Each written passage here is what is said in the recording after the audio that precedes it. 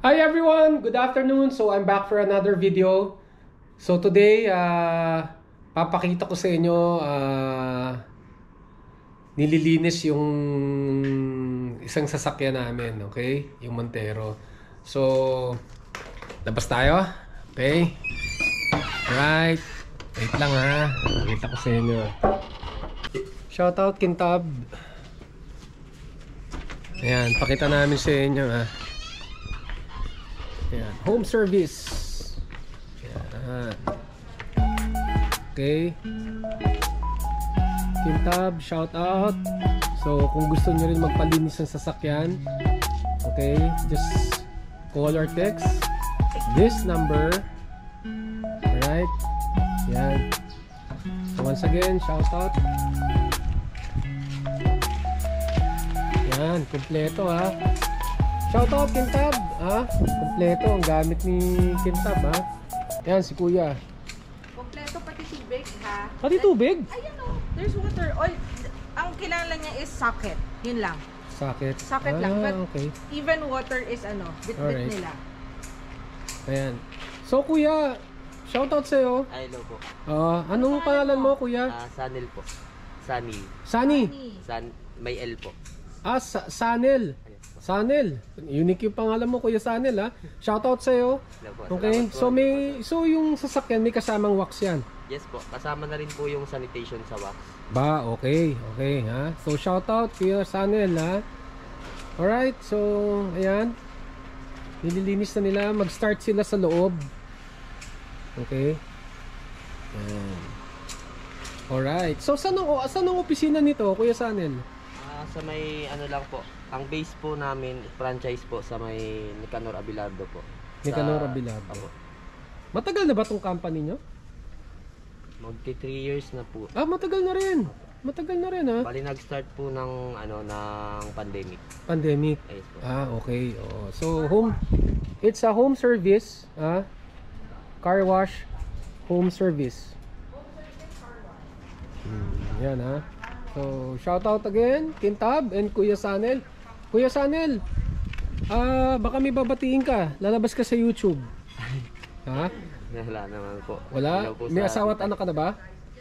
Kalibin lang po. Oo. Uh, shout out sa kalibin ni Kuya Sanel. Anong pangalan ng kalibin mo? Gemma. Oh, Gemma, shout out sa iyo ha. Tingnan mo si Kuya Sanel, ang sipag ha. Oh, yan. Okay?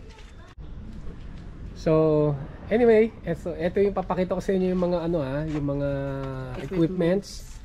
Okay? So, galing no? Uh, innovation ha ng Filipino. Okay?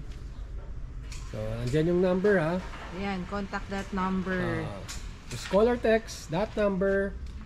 So anywhere, anywhere south, mami. BF, yeah, south. Well, particularly, of BF. course, BF. Pero if you're within south, siguro kaya nila. Okay. Oh, kasi may sasakyan naman sila. Yeah. Hmm. Okay. So yeah, And kompleto the ha. price is the And of same course. lang with ano mga car wash. Mm. Same lang. Yeah. So, galing no?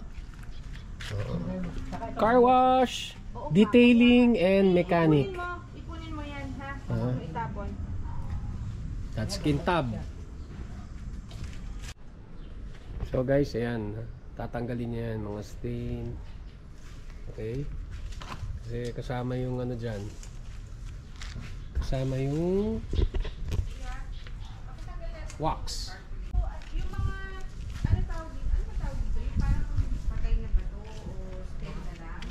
So, of course, sulit, di ba? Kasi nililinis nila yung kotse mo at the comfort of your home. Di ba? So, yan, ha? Hanggang loob yan. Ha? Sinasanitize ni Kuya sa amin. Ha? So, importante rin yan, syempre. Of course, especially ngayong pandemic, di ba? Kailangan talaga sanitize ang kotse mo. In and out, actually ha, in and out. Yan. Kita nyo naman ha. Talagang matindi kung paano nila lilinisin. Okay?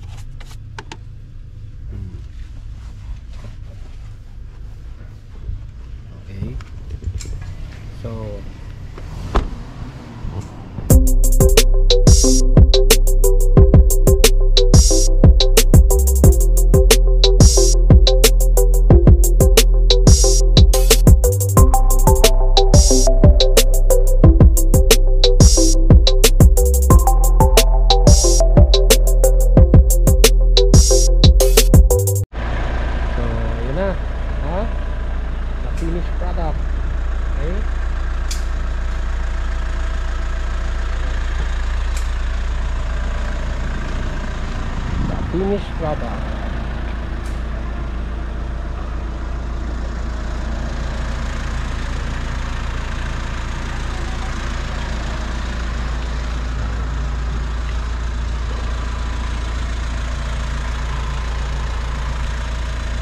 Okay, shout out uh, Pintab Mobile Car Care. Thank you. Ang kintab na ng sasakyan namin. Grabe. Mhm, Thank you ha. Grabe oh. Thank you madam, sir. I know. Thank you, Miss Ami. Thank you madam. Okay.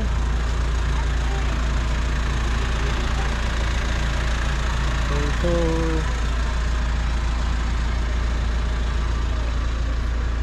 Ayan. Pintab na ha.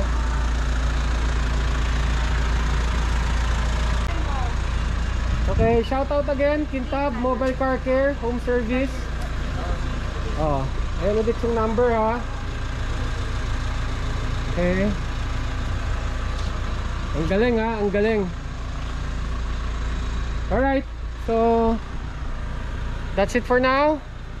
But please don't forget to like and subscribe and hit that bell button para ma-inform ko kayo on my next video. Bye for now. Peace! All them, all them, all them, them.